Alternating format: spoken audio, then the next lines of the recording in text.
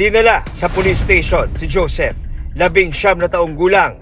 Samantalang, idiniretso naman sa Municipal Social Welfare and Development Office ang minor de edad na si Peter, labing limang taong gulang. Ang isang suspect po natin ay minor de edad, isang CICL. Tinurn over ko po siya sa ating MSWD para sa kaukulang proseso. At ang isa naman po na legal age ay nakadetini po dito sa aming istasyon.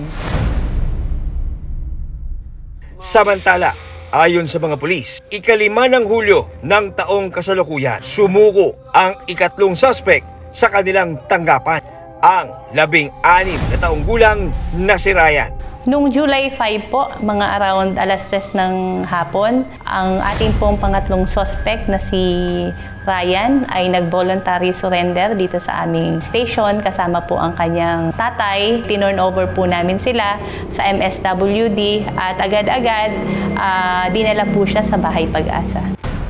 Sinampahan ang tatlong suspect ng kasong rape with homicide. Ang ating pong kaso na isinampa na rape with homicide laban sa tatlong suspect ay nasa fiscal's office at ah, kami po ay naghihintay ng schedule po ng hearing.